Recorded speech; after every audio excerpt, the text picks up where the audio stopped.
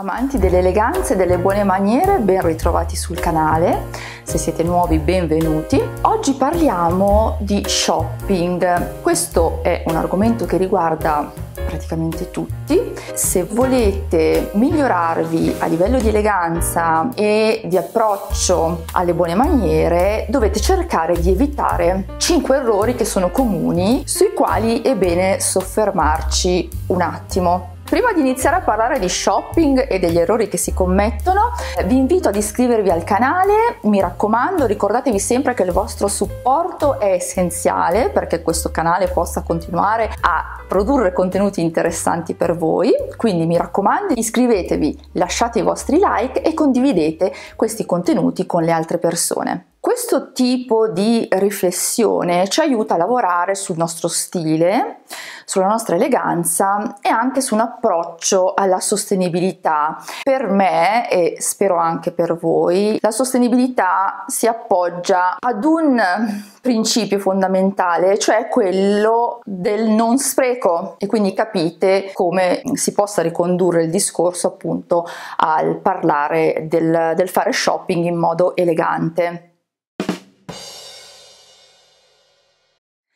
Il primo errore che mi accorgo che le persone fanno spesso è di effettuare gli acquisti soprattutto quando si parla di acquisti per l'abbigliamento ma anche per la casa, non si considerano mai i materiali di cui sono costituiti i prodotti che andiamo ad acquistare. Ed è un errore gravissimo perché se voi perseguite uno stile elegante e volete crearvi un guardaroba o arredare la vostra casa in modo elegante, raffinato e pregiato, dovete assolutamente fare attenzione ai materiali. Quali sono i materiali da prediligere? Ovviamente le fibre naturali, cotone, lana, lino, volendo alzare un po' l'asticella, il cashmere, la seta, ma senza per forza dover andare a ricercare materiali pregiatissimi, anche mh, mm, per esempio la viscosa va benissimo. Il fatto che, soprattutto nell'abbigliamento, alcuni indumenti abbiano dentro una piccola percentuale di elastan va bene perché aiuta e serve alla vestibilità, va benissimo. Per piacere evitate il poliestere. Qui non mi dilungo, ma ce ne sarebbe da dire parecchio. Non è una fibra versatile a meno che non si parli di abbigliamento per lo sport. Evitate il poliestere e in generale fate sempre attenzione ai materiali e poi eventualmente anche alle lavorazioni, ma questo è un altro discorso, che compongono i vostri capi di abbigliamento. Secondo errore che si tende a fare perché fa gola, perché siamo persone influenzabili, è quello di seguire a tutti i costi la moda, ma non è assolutamente un approccio elegante, perché non sempre la moda propone abbigliamento che ci dona, che ci valorizza, che ci sta bene. Quindi bisogna andare a fare shopping tenendo in considerazione il proprio carattere, la propria personalità, che sono gli elementi che influenzano il nostro stile e quindi mm, fare degli acquisti in maniera oculata tenendo presente questo fattore. Voi sapete che c'è stato chi prima di me ha detto che la moda passa, lo stile resta, questo qualcosa sicuramente significa. Benvenga la moda quando ci aiuta e ci dà soluzioni per esprimere al meglio la nostra personalità, ma non a tutti i costi, perché a volte si vedono in giro anche delle mise che lasciano un po' a desiderare. Il terzo errore che eh, si fa è quello di appunto non considerare la sostenibilità che si lega poi a un discorso eh, sull'eleganza. Per piacere, mettetevi nell'ottica di idee di fare pochi acquisti ma buoni. Non va bene sprecare, non va bene per il vostro portafoglio, non va bene per l'ambiente e non va bene per il vostro stile.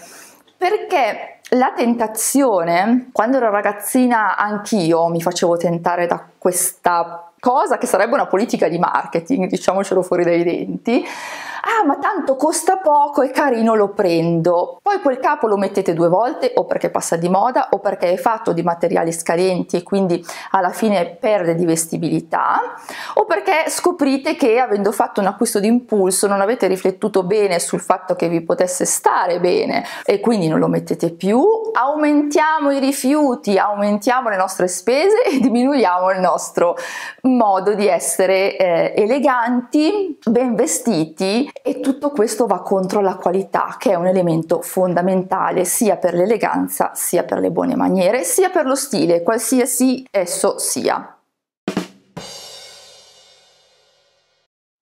Il quarto errore è farsi influenzare troppo dal prezzo. Anche in questo caso siamo influenzabili, prezzi bassi attirano di più la nostra attenzione e la tolgono però, quindi la sottraggono da altri aspetti che invece è importante valutare. Quindi mi raccomando, non fatevi influenzare dal prezzo.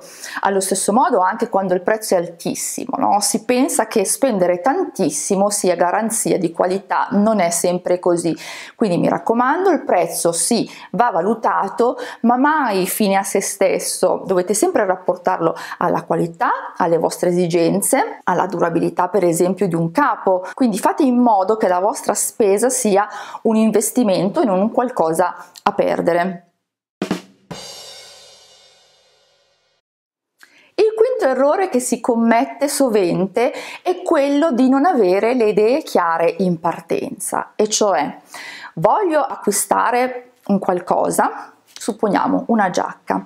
Prima di entrare nel negozio, prima di collegarvi online, prima di prendere qualsiasi decisione, dovete avere le idee, non dico chiarissime, ma perlomeno una base mh, mm, di chiarezza deve esserci, perché anche qui ritorniamo a considerare il nostro aspetto di influenzabilità. Nel momento in cui entriamo in un negozio ci facciamo influenzare da ciò che vediamo, da ciò che ci possono dire le commesse, da ciò che la moda propone, ma noi in primis dobbiamo avere le idee chiare perché altrimenti il nostro acquisto potrebbe rivelarsi sbagliato. Capita no? a volte di entrare in un negozio pensando mi devo comprare una giacca e usciamo con un paio di pantaloni. Non per forza deve essere un qualcosa di sbagliato, perché magari avevamo bisogno anche di un paio di pantaloni, ma viviamo in una società del consumismo, mm, viviamo in una società dove purtroppo, un po' per colpa del fast fashion, un po' per colpa del fatto che le mode cambiano in continuazione, gli stimoli e le influenze alle quali siamo soggetti sono parecchie, se non abbiamo le idee chiare rischiamo di fare dei passi falsi. E avere le idee chiare in tal senso serve anche per crearsi un guardaroba coerente, quindi l'acquisto che andiamo a fare non deve soltanto sposare il nostro stile, ma deve essere anche, anche qui un capo di abbigliamento o un accessorio per la casa che si sposi a quello che già abbiamo, perché così si crea armonia e si rafforza il nostro stile. Durante lo shopping si fanno tanti altri errori, ma per oggi direi che può bastare. Io spero che il video vi sia piaciuto, lasciatemi i vostri like, iscrivetevi al canale, ricordatevi che potete anche salvarli i video per averli a portata di mano nel momento in cui ne avrete bisogno. Io vi saluto e vi do appuntamento al prossimo video.